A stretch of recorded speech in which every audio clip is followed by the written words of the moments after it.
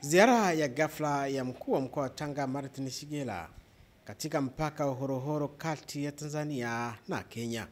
Katika mpaka huu Shigela anakutana na malalamiko ya wafanyabiashara na madereva ambao walizuiliwa katika mpaka wa Lungalunga baada ya kuchukuliwa vipimo vya ugonjwa wa korona.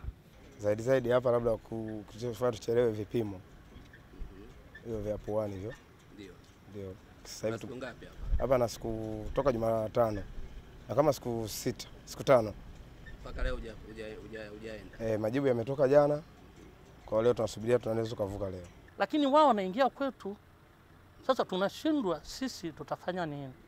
Lakini sisi tunashukuru e, sisi sisi wao wanafaidika na sisi, lakini wao sisi tukiingia kwao hawataki. Naona ukiangalia sasa biashara hizi zimesimama zote, na ndio maana unaona malori yako hapa kwa sababu ya kusubiri, madereva wanasubiri matokeo. Matokeo nayo yanachelewa kwa sababu zinasukumwa na mtandao, hazina uhakika. Mtu anaendelea kuchelewa hapa, anapata hasara, mileage ambayo imetumia hawana.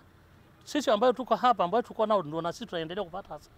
Shigela anasema amefikia hatua hiyo ya kufunga mpaka wa Horohoro hususan kwa magari ya mizigo kutoka nchini Kenya baada ya madereva wake kupimwa katika mpaka wa Horohoro na 19 kukutwa na ugonjwa wa korona.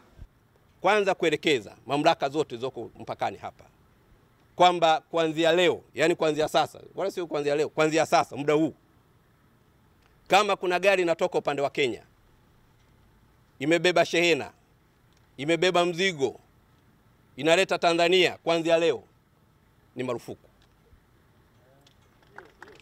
eh. Kwa sababu hatuwezi kuwa na bidhaa na Watanzania wanakaa hapa zaidi ya wiki nzima halafu wanatangazwa kwamba wana korona. Na tangu nimekuja hapa Ijumaa, niliagiza sekta ya afya ipime baadhi ya watu wanaotokea Kenya.